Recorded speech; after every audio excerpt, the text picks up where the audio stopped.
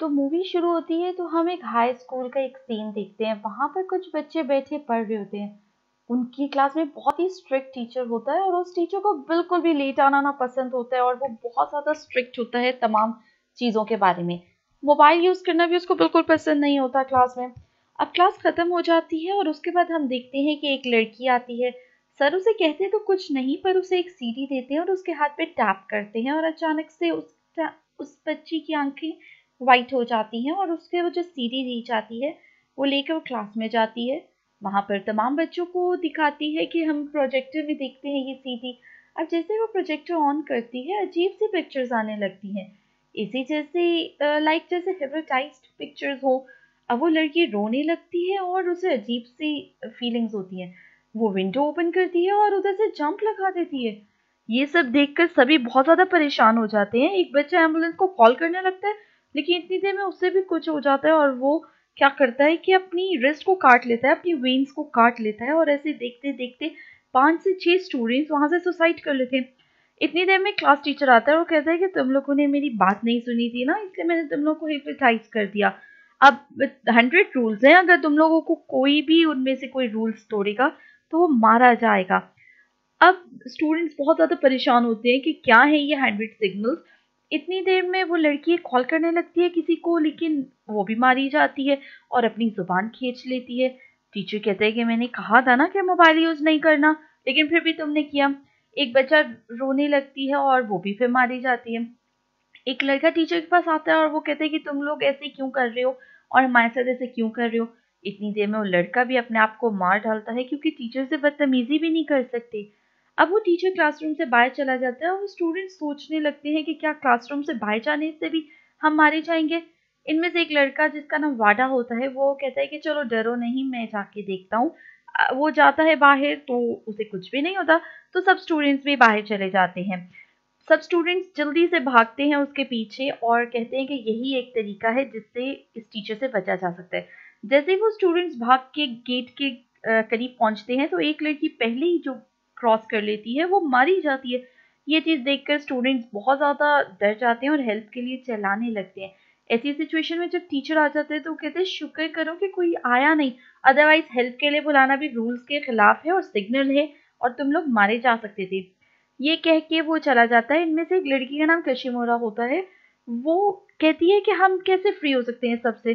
तो टीचर कहता है, जो मैं कहूँ वो तुम्हें करना होगा और मुझे फॉलो करना होगा।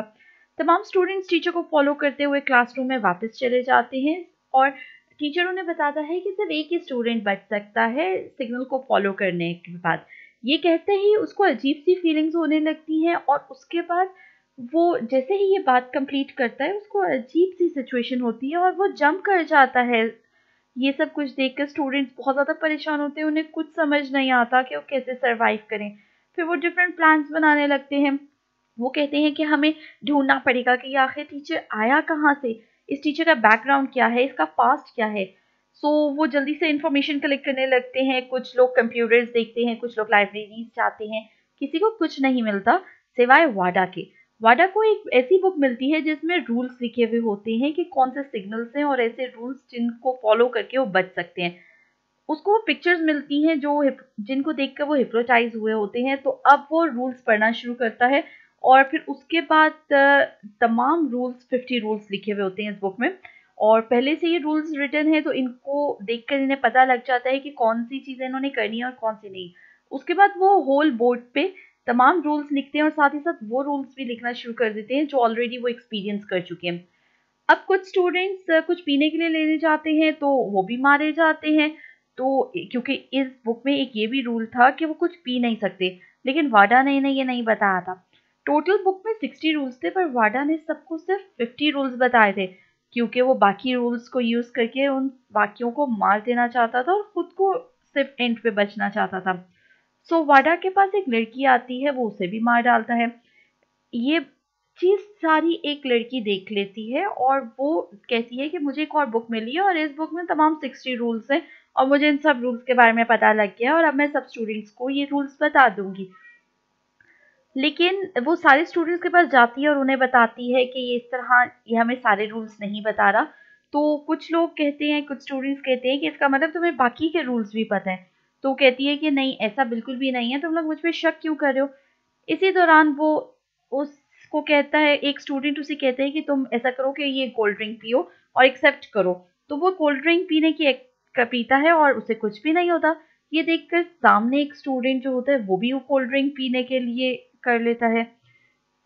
जैसे ही वो कहता है कि ठीक है, मुझे कोई मसला नहीं, मैं ये कोल्ड ड्रिंक पी लूँगा, लेकिन उसके बावजूद उसकी सिचुएशन ऐसी होती है कि वो कोल्ड ड्रिंक पीने के बाद उसको कुछ भी नहीं होता। वो स्टूडेंट जो सामने खड़ा होता है, वो भी कोल्ड ड्रिंक पी लेता है, लेकिन देखते ही वो अपने आप को मार डालता है। और इसके बाद कशिमुरी ये सब कुछ देख रही होती है और वो उसको समझ आ जाता है कि वाडा ने तो कोल्ड ड्रिंक पी नहीं थी, बल्कि उसने तो सिर्फ़ एक्टिंग की थी इसके लिए। फिर वो बाकी तमाम स्टूडेंट्स को बताती है कि वाडा ने कुछ रूल्स हैं जो हमें नहीं बताए और बुक में सिक्सटी रूल्स लिखे हुए हैं। तो वो लड़की फिर बाकियों को बताती है कि अगर आप लोग जानना चाहते हैं ये बाकी रूल्स तो आप लोग मेरे ग्रुप में आए। इतनी देर में एक लड़का उससे ये बुक छीन लेता है, लेकिन वो कॉमिक बुक निकलती है। तो उस, इतनी देर में वो इलेक्ट्रिक बल्ब अपने मुँह में डाल देता है और वो मारा जाता है। यानी इस बुक में ये भी रूल था कि आप कॉमिक बुक्स नहीं पढ़ सकते। वो लड़की बताती है कि ये मेरा प्लान था और जो स्टूडेंट्स चाहते हैं कि वो बचे रहें और उन्हें तमाम रूल्स पता लगे, वो मेरे ग्रुप में आ जाए। इतनी देर में वाडा भी आ जाता है और वाडा कहता है कि अगर तुम लोग चाहती हो कि तमाम रूल्स मैं तुम लोगों को बता दूँ तो मेरे ग्रुप में आ जाओ और फिर मैं तुम लोगों की जान को कुछ टाइम के लिए सेफ़ रखूँगा। स्टूडेंट्स को काफ़ी गुस्सा आ रहा होता है इस पर लेकिन मसला ये कि वो गुस्सा कर नहीं पाते क्योंकि रूल्स में एक ये भी होता है कि वो गुस्सा नहीं कर सकते। और फिर वो बताता है कि अगर सारे मिल के एक ही, के तरफ़ पॉइंट आउट करेंगे तो वो बंदा मारा जाएगा। तो वो फिर जाता है हॉल में और फिर एक स्टूडेंट की तरफ़ वो लोग पॉइंट आउट करते हैं सब और वो अपने आप को मार लेते हैं। इतनी देर में डिफरेंट स्टूडेंट्स एक दूसरे का हाथ पकड़ के चल रहे होते हैं और वो जाते हैं एक रूम में, जहाँ पर वो देखती है कि दो स्टूडेंट्स एक दूसरे का हाथ पकड़ के बैठे होते हैं तो उसे याद आता है कि उनका टीचर ये भी बात को मना करता था कि कोई भी एक दूसरे को देखे ना और एक दूसरे के क्लोज ना आए। तो आहिस्ता आहिस्ता उसके बाद वो और उसका दोस्त किशमेरा और उसका दोस्त एक क्लास में जाते हैं, जिसमें जाके वो तमाम रूल्स को याद करते हैं कि कौन कौन से ऐसे रूल्स थे जो उनका टीचर मना किया करता था। वो तमाम रूल्स को लिखती है और उसके बाद फिर वो वाडा के पास जाते हैं और वहाँ एक चालीस लड़की होती है, जो कि कशिमुरा पे पॉइंट आउट करने लगती है फिंगर लेकिन इतनी देर में कशिमुरा के फ्रेंड्स आ जाते हैं, जो कि वापस वाडा पे पॉइंट आउट करते हैं और इस सिचुएशन में वाडा डर जाता है। कि ये ना हो कि मैं भी मारा जाऊँ तो फिर वो सबको रोक देता है कि उसकी तरफ़ पॉइंट आउट ना करो।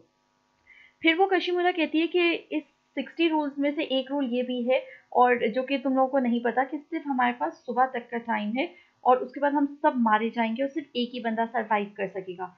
और इस वजह से फिर क्या करता है, वाडा एक आइडिया लेता है और वो कहता है कि मैं रेन कोन पहन लेता हूँ और बाकी सब पे वो ड्रिंक गिराता है। जिससे सारे स्टूडेंट्स मरने लगते हैं। जिन जिन पे ड्रिंक गिरती है, वो तमाम स्टूडेंट्स मरने लगते हैं और कशिमुरा की तरफ़ भी वो बढ़ने लगता है और वो जो जेरस लड़की होती है, वो ड्रिंक लेकर बढ़ती है कशिमुरा की तरफ़, लेकिन इतनी देर में उस पर भी ड्रिंक गिर जाती है और वो भी मर जाती है। सारे स्टूडेंट्स ऐसी सिचुएशन में मारे जा चुके होते हैं। अब सिर्फ़ काशीमुरा के फ्रेंड और वाडा बाकी बचते हैं।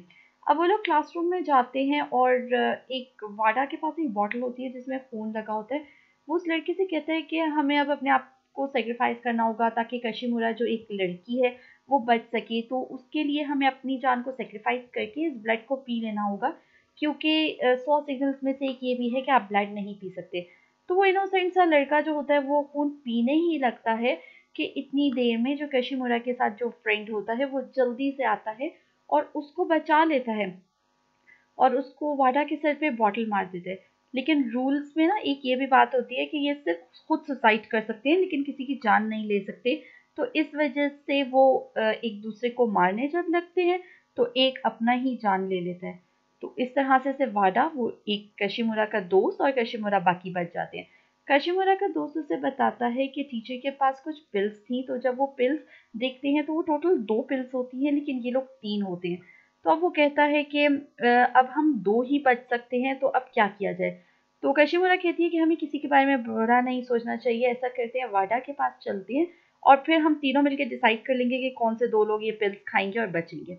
तो वो दोस्त मान जाता है और वो छत पे जहाँ वाडा खड़ा होता है, उसके पास जाता है तो वो जब उसको पिल्स के बारे में बताता है तो वो जल्दी से बिना कोई और बात समझे, सोचे, वो उस पिल्स को उससे छीनने लगता है। लेकिन इतनी देर में वो पिल्स को छीन के उससे खा लेता है और इसी चक्कर में उन दोनों के आपस में लड़ाई हो जाती है। और रूल्स में, सिग्नल में एक ये भी बात होती है कि आप आपस में लड़ नहीं सकते और जो लड़ेगा, वो भी अपने आप को मार लेगा। ऐसी सिचुएशन में इन ये दोनों एक दूसरे को मार लेते हैं और इतनी देर में एक सुसाइड कर लेता है और दूसरा खुद अपनी जान ले लेता है, छुरी से, कैंची से अपने आप को जख्मी कर लेता है। खैर, कशिमुरा को ये बात समझ आ जाती है कि ये सिर्फ़ और सिर्फ़ उसके दोस्त ने इसलिए किया ताकि वो कशिमुरा को बचा सके। और इस तरह से वो तमाम स्टूडेंट्स मर चुके होते हैं, सिर्फ़ कशिमुरा ज़िंदा होती है। इतनी देर में सुबह हो जाती है और वो हिप्रोटिज्म में से बाहर आ चुकी होती है।